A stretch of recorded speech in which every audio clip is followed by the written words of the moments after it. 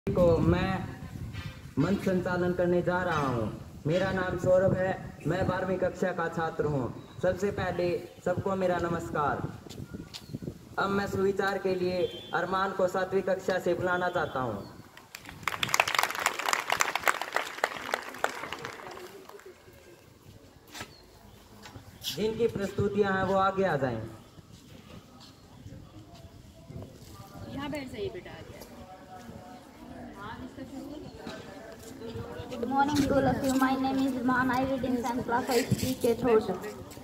शिक्षक और सड़क दोनों एक जैसे होते हैं जहाँ खड़े हैं, वहीं खड़े रहते हैं, लेकिन दूसरों को उनकी मंजिल तक पहुँचा देते हैं काम करो ऐसे की पहचान बन जाए, चलो ऐसे की निशान बन जाए, और ज़िंदगी तो हर कोई काट लेता है अगर दम है तो जियो ऐसे की मिसाल बन जाए अब मैं कविता के लिए ज्योति सातवीं ज्योति को सातवीं क्लास से बुलाना चाहूँगा। मेरा नाम ज्योति, मैं कक्षा सातवीं की छात्र मैं आज आपको कविता सुनाना चाहती अम्मा, मुझे बांसुरी लागे, दे दो, मैं भी उसे बजाऊँगा। गाँव वालों का काम नहीं है, मैं भी गाय चराऊँगा। यूँ ही कुछ दिन करता करता जो बड़ा हो जाऊँगा। बैठ किसी रथ पर, मैं भी मुतरा जाऊँगा। जो लड़ने आए हैं मैं तो उन्हें हरा दूँगा। धन्यवाद। वेरी गुड ज्योति जो मेहनत पर भरोसा करते हैं वो किस्मत की बातें कभी नहीं करते। अब कविता के लिए सुदेश को बुलाना चाहूँगा।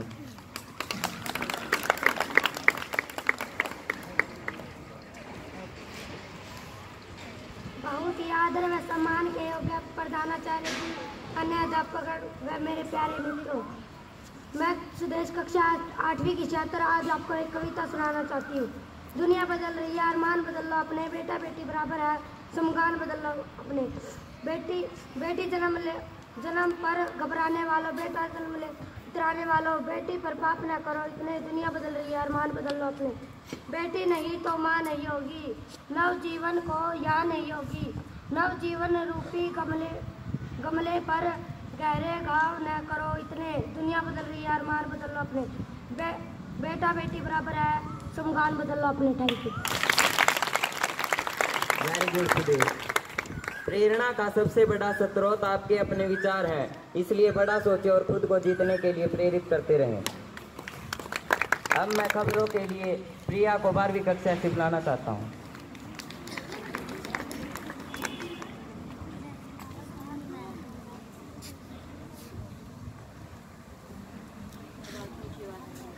नमस्कार ताज़ा खबरों के साथ मैं प्रिया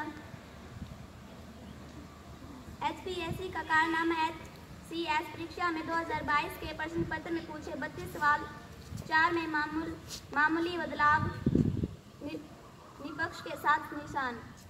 हरियाणा लोक से सेवा आयोग ने वापस ली पीजीटी भर्ती अब अन्य विज्ञापन होगा जारी। पाटम विश्वविद्यालय C U C I T पंजीकृत यूजी पीजी एवं अन्य प्रोग्राम में लाख से अधिक छात्रों ने किया आवेदन। हरियाणा विंडर पश्चिम विभोग का दूसरे दिन भी बारिश पारा गिरा। तपा आज से जाने आगामी मौसम का हाल। पालराम दहिया का निधन रागनी को गाँव के भीतर लाने वाले गायक थे लोक गायक और हरियाणवी संस्कृति को जीवन रखा। थैंक यू आप अपना भविष्य नहीं बदल सकते, लेकिन आप अपनी आदतों को बदल सकते हैं और निश्चित रूप से आपकी आदतें आपका भविष्य बदल देंगी। जीके के क्वेश्चन के लिए स्वाति दसवीं क्लास से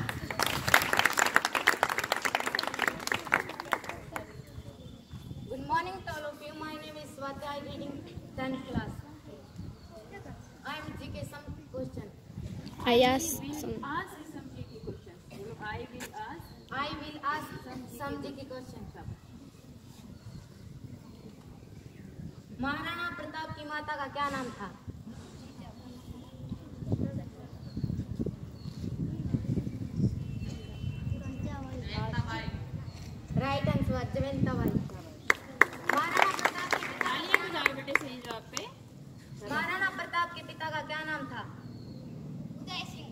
Right answer Uday Singh Uday Singh की कितनी पत्नियाँ थी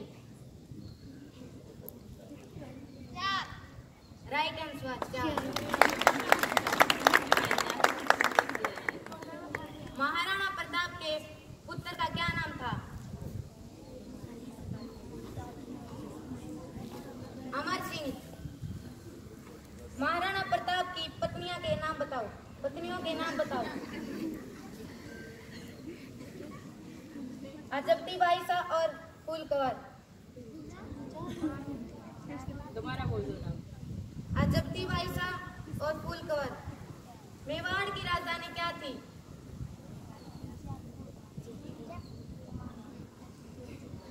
चित्तौड़ अकबर का जन्म कब हुआ रॉन्ग आंसर पंद्रह सौ बयालीस बौद्ध धर्म की स्थापना किसने की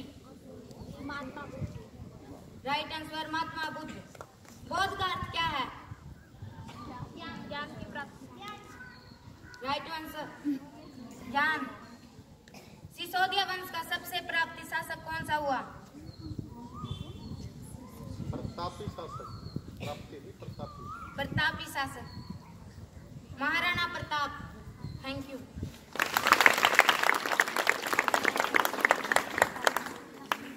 अब जो प्रिंसिपल सर ने 20 मिनट हर विषय के लिए जारी किए थे, उसके लिए मंजू मैम मैथ्स के लिए। प्लीज़ मैम को ध्यान रखिए।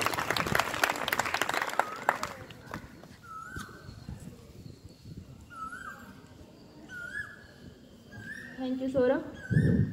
आदरणीय प्रधानाचार्य महोदय, सभी सम्मानित सदस्यगण और प्यारे बच्चों, हर पतंग जानती है कि उसे कचरे में जाना है।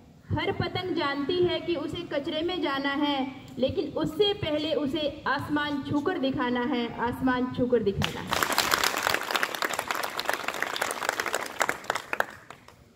सभी बच्चों ने बहुत ही अच्छा किया। और ज्योति एक बार खड़ी हो जाए, ज्योति।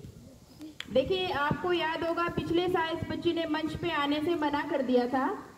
और हमने लाइन में जा करके इसके पास खड़े होकर के वहीं से इससे दो लाइन बुलवाई थी। और आज इस बच्ची ने खुद कहा कि ये मंच पे आएगी और इसने यहाँ आकर के पूरे आत्मविश्वास से अपनी कविता सुनाई है। हाउस एक्टिविटीज़ का ये लाभ है कि जो सर ने शुरू की है कि उसे बच्चों को आत्मविश्वास बढ़ाने का एक मौका मिलता है। जोरदार तालियाँ बजाइए बच्ची के बैठ जाइए शाबाश। हम विषय का काम शुरू करें उससे पहले मैं आपको याद दिला दूँ कि हमें बेस्ट स्टूडेंट और बेस्ट क्लास का जो अवार्ड कहा था, वो शनिवार को वितरित किए जाएँगे। उसके लिए मैं एक बार सभी कक्षा इंचार्जेस से अनुरोध करूँगी कि आज जब क्लास में जाएँ तो अपने कक्षा के पाँच पाँच अच्छे बच्चों को कृपया ध्यान में कर लें। पाँच या किसी को लगता है कि मेरी क्लास में पाँच से ज़्यादा बच्चे भी अच्छे हैं तो वो ज़्यादा के भी नाम दे सकते हैं, अगर वो चाहें तो। तो उनके बच्चों के नाम आज बच्चे लेने के लिए आएँगे आपके पास में। तो आप कृपया कक्षा में जाएँ, तभी नाम ध्यान में कर लें। और कक्षा का मैं सभी टीचर्स से और प्रधानाचार्य महोदय से भी अनुरो- अनुरोध करना चाहूँगी कि सभी कक्षाओं पे भी अपनी निगरानी रखें। कक्षा का कक्ष कैसा सजाया है बच्चों ने इसके साथ कक्षा अनुशासन में रहती है कि नहीं, सभी विषयों का काम करके आती है कि नहीं। ऐसा नहीं है कि जो आपका कक्षा इंचार्ज है, आप उसी विषय का काम करके आएँगे। आप सभी विषयों का काम करके आएँगे, सभी टीचर्स की बात मानेंगे, तब आप एक अच्छी कक्षा बनेंगे। तो सभी बच्चे, हमें अपने स्कूल का जो एनवायरनमेंट है, मैं एक नया शब्द आपको आज सिखाना चाहती हूँ प्रिंट रिच करना है। Print rich P R I N T print R I C H rich print rich environment क्या होता है? जहाँ कक्षा में दीवारों पर, जैसे अपने पेंटिंग्स तो बाहर तो पहले से ही बनी हुई है तो बाहर से हमारा विद्यालय पहले से ही प्रिंट रिच है। तो अंदर आपको क्या करना है? अपने विषयों के अलग अलग चार्ट हो गए, कोई मोटिवेशनल कोट का चार्ट हो गया, जिससे लगे कि कक्षा एक अच्छे, जैसा साहित्य हम पढ़ते हैं, हमारी विचारधारा वैसे ही बन जाती है।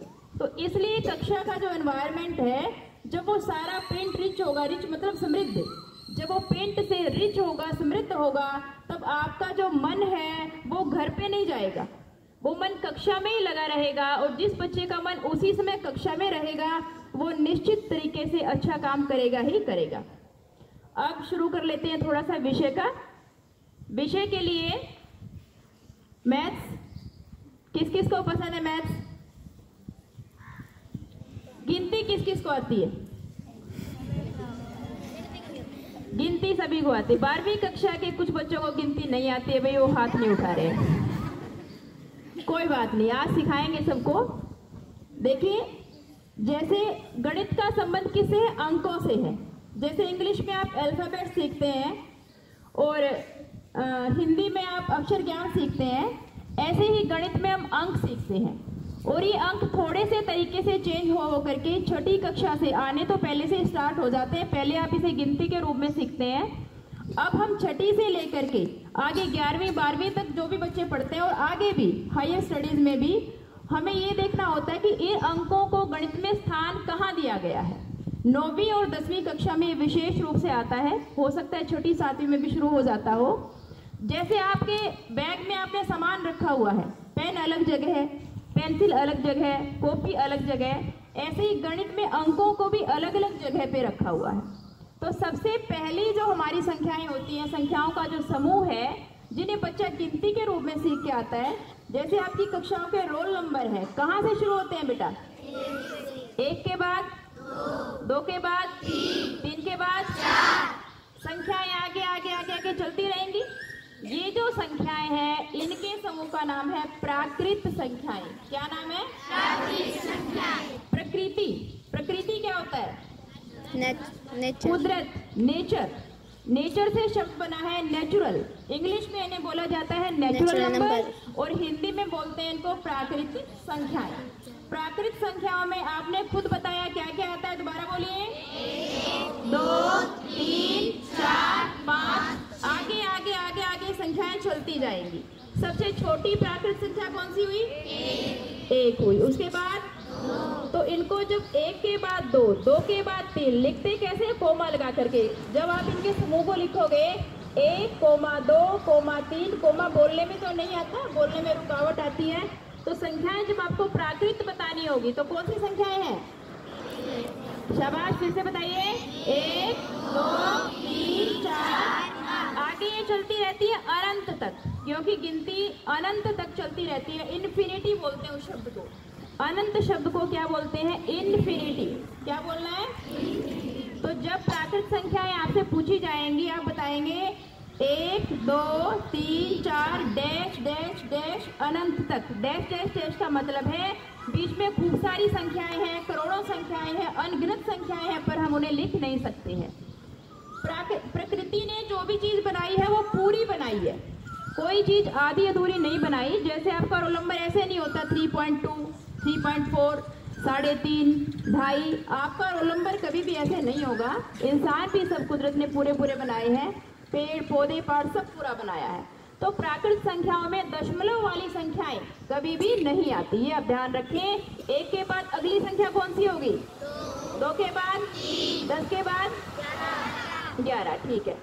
अब एक बहुत अच्छी संख्या इस समूह में नहीं आई है। कौन सी संख्या इस समूह में नहीं आई है? शाबाश, कौन सी नहीं आई है? ज़ीरो। का कंसेप्ट दिया था आर्यभट्ट ने। मान लो आपसे मैं पूछती हूँ बताओ भाई इस समय आपके हाथों में कितने लड्डू हैं?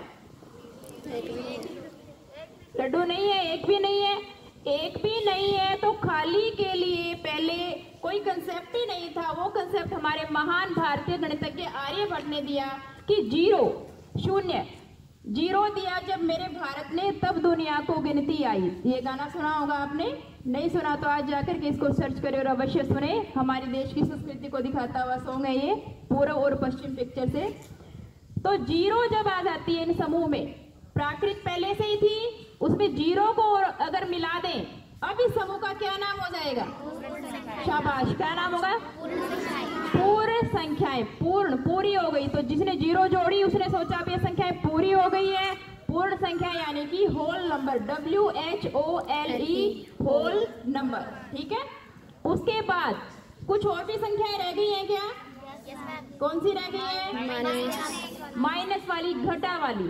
घटा को आप कैसे समझ सकते हैं?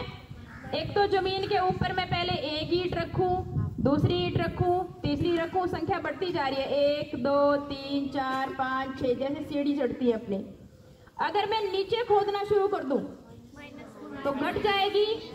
ऊंचाई माइनस एक, फिर शाबाश। वेरी गुड माइनस चार। ज़्यादा गहराई किसकी होगी? चार फीट ज़्यादा गहरा होगा या दो फीट ज़्यादा गहरा होगा? शाबाश। तो माइनस का निशान ये बताता है कि इसकी वैल्यू छोटी होती जा रही है, घटती जा रही है। ठीक है? ये बीच में ज़ीरो आ गया। इधर ही हमारा कौन सा हो गया? राइट हैंड और इधर कौन सा हाथ हो गया? ठीक है? इस तरफ़ जो संख्याएँ होंगी बढ़ती चलेंगी और इस तरफ़ आपकी संख्याएँ होंगी वो घटती चलेंगी। वास्तविक संख्या रेखा पर आप इनको दर्शा सकते हैं। तो ये जो संख्याएँ जब माइनस वाली संख्या भी साथ में मिल जाएँगी इनको कहा जाएगा पूर्णांक। क्या कहा जाएगा? यानी कि integers I N T E जो उबासी ले रहे हैं उनसे मेरे को ज़रूर पूछना है। ध्यान से सुने। I N T E G E R S integers ये सभी सातवीं कक्षा से आपके पास आएँगी। आज अपने अपने गणित में पहले चैप्टर में सभी को ही मिलेंगी जाकर के देख ले। आज हम ये तीन ही संख्याओं में तो तीन ही सीखेंगे। अब इसके बाद आपने बहुत सारे और भी नाम सुने हैं जैसे कि सम संख्याएँ और विषम संख्याएँ और भाज्य भाज्य। भाज्य। और भाज्य और सर ने गिनती और पहाड़े भी आपको दिए थे है ना? संख्याओं के वर्ग और घन भी दिए थे। ये सारा काम आप कौन से समूह के ऊपर कर रहे हो? प्राकृत पे कर रहे हो पूर्णांक पे कर रहे हो पूर्ण पे कर रहे हो किसमें से निकाल रहे हो? सम संख्याएँ कहाँ से ढूंढ रहे हो? विषम कहाँ से ढूंढ रहे हो? कहाँ से ढूंढ रहे हो बेटा? शाबाश। किसे ढूंढ रहे हो? प्राकृत से ढूंढ रहे हो। किसे ढूंढ रहे हो? प्राकृत से। प्राकृत संख्याओं में जब आप ऐसी संख्याएँ लेंगे जो दो के पहाड़े में आती है दो का पहाड़ा बोलिए। दो। चार छः आठ दस बारह चौदह सोलह अठारह वेरी गुड अनंत तक चलता रहेगा ये कौन सी संख्याएँ है? ये है सम संख्याएँ। कौन सी संख्याएँ हैं? सम संख्याएँ। और जो दो के पहाड़े में नहीं आई अब वो भी बता दीजिए। एक तीन पाँच नौ। विषम संख्याएँ। कौन सी संख्या होंगी? तो आज आपने सबसे पहले कौन सी संख्याएँ सीखी है? प्राकृत उसके बाद फिर फिर सम, विषम। ठीक है? पहाड़े याद करके आए हो? तो पहाड़ों में पहाड़ों के हेल्प से भी हम एक संख्या बना सकते हैं। कई ऐसी जिद्दी संख्याएँ होती है जो या तो कहेंगी मैं तो या तो एक का दोस्त बनूँगी या फिर खुद का दोस्त बनूँगी। कौन सी है जिद्दी संख्याएँ? पाँच तीन। पाँच हो सकती है सत्रह हो सकती है उदाहरण आप बता रहे हो। इन्हें गणित में क्या नाम दिया गया है? Prime number very good clapping कीजिए भाई दोनों बच्चों को प्राइम नंबर यानी कि अभाज्य संख्याएँ अभाज्य जिनका विभाजन आप नहीं कर सकते। एक तो ऐसी संख्या है जो सभी संख्याओं को भाग कर सकती है। लेकिन कई संख्याएँ और किसी से भाग नहीं होंगी, और किसी से दोस्ती नहीं करेंगी, केवल खुद से ही भाग होंगी। जैसे एक से दस तक ऐसी कौन कौन सी संख्याएँ हैं? हाँ एक बात का ध्यान रखें। अभाज्य संख्याएँ दो से शुरू होती है एक को न ही अभाज्य कहेंगे न ही भाज्य क्योंकि ये केवल एक से भाग होती है खुद से भाग होती है। इसको हम कहेंगे इकाई संख्या। क्या कहेंगे इसको? इकाई संख्या। यूनिट नंबर क्या कहेंगे? यूनिट नंबर पूरी दुनिया में केवल वन है। कौन है यूनिट नंबर वन शाबाश। उसके बाद शुरू होगा भाज्य और अभाज्य का खेल। तो अभाज्य में कौन कौन सी लग रही है आपको जिनके दो दो ही दोस्त हैं? दो। दो के बाद? चार लग रही है त्रिलोक को। चार का दोस्त तो दो भी है। दो के बाद? तीन, पाँच, सात, नौ। नौ है। नौ का कोई दोस्त नहीं है क्या? नौ किसी के बारे में नहीं आती। वेरी गुड वो कह रहे हैं तीन के बारे में आती है, नौ तो हट गई। ठीक है? तो आप सिस्टम को समझ गए हैं। घर से अगला जब मैथ्स का लेक्चर रहेगा उससे पहले आप एक से सौ तक में सम संख्याएँ विषम संख्याएँ, भाज्य।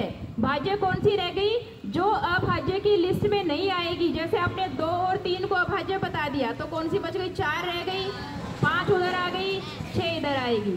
सात उधर जाएगी, आठ, नौ, दस इधर आ जाएगी। फिर ग्यारह उधर।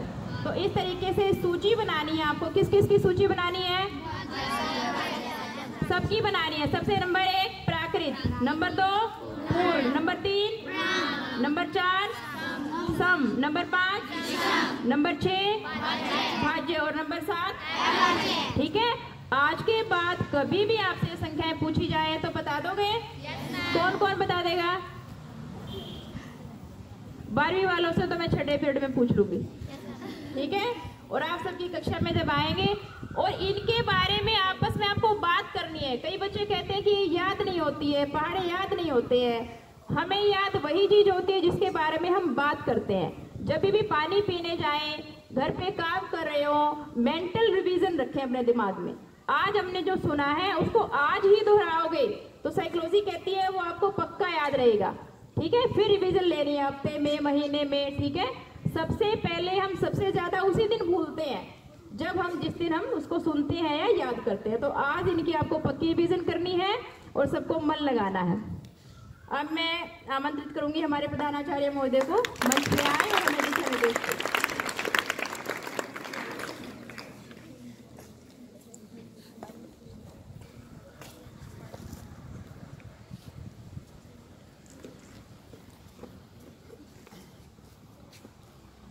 बहुत ही आदर व सम्मान के योग्य, बहुत ही मेहनती और कर्मठ स्टाफ मेंबर, और बहुत ही अनुशासन प्रिय प्यारे बच्चों। जो हमने हाउस का कॉन्सेप्ट था हमारा कि हर बच्चा स्टेज पे आए। आज छठी के बच्चे स्टेज पे आए थे। बड़ा अच्छा उनका परफॉर्मेंस रहा और मैं उम्मीद करता हूँ कि सभी बच्चे स्टेज पे आएँगे और उनकी जो एजिटेशन है वो दूर हो जाएगी। और जहाँ तक सब्जेक्ट की बात है मैम ने बहुत ही अच्छी प्रकार से चीज़ें बताई हैं और मैं ये चाहूँगा कि हर रोज़ अलग अलग टीचर यहाँ आकर के जो बेसिक चीज़ें अपने विषय की हैं, वो बच्चों को बताएँ। इसमें एक बात का थोड़ा ध्यान रखना पड़ेगा।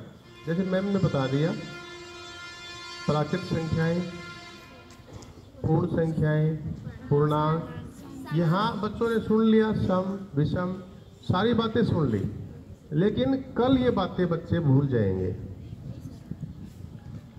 क्योंकि एक हमारा मेंटल जो मानसिक रूप से है, याद करने का तरीका जो है, अगर आज हम उसको नहीं दोहराएँगे, सही तरीका क्या होता है, कोई चीज़ हमने सीखी, उसी दिन उसको दोहराओ, उसके बाद उसको एक हफ़्ते के अंदर अंदर फिर दोहराओ, उसके बाद एक महीने के अंदर अंदर फिर दोहराओ, तब जाके वो याद होती है। तो इन चीज़ों को आज बच्चे लिख लें।